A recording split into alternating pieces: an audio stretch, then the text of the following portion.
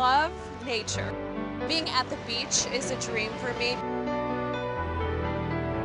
I know this sounds like I'm a total geek, which I am, but ever since I was a little girl, I've always wanted to do the weather. I started in Tallahassee, Florida. From there, I went to Miami. And then I come here, and it's every single climate you can imagine. It's so unbelievable. I'm living my dream. I get to forecast weather, and that's what I love.